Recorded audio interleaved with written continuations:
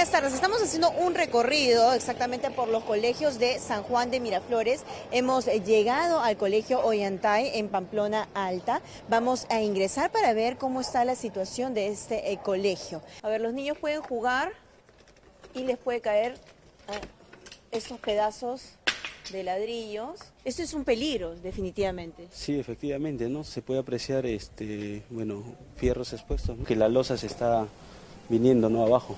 Es un riesgo latente, ya que estos son baños, ¿no? Públicos para los niños. Hay un riesgo eléctrico porque tenemos cables expuestos. Miren, o sea, no tiene ningún tipo de protección. Esto vendría a ser a la espalda de las aulas y se está utilizando prácticamente como un botadero, ¿no? Sí, efectivamente, ¿no? Se puede apreciar, ¿no? Inclusive las paredes en mal estado, ¿no? Mariscal Andrés Avelino Cáceres. Quiero enseñarles cómo está también este muro que vendría a ser el cerco perimétrico del colegio. El año pasado, en el mes de diciembre, bueno, se vino más o menos a las 5 de la mañana, no hubo ningún herido.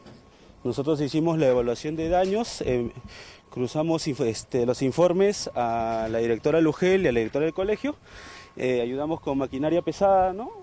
cercamos el lugar, pero hasta ahorita no tenemos respuesta del Ministerio de Educación.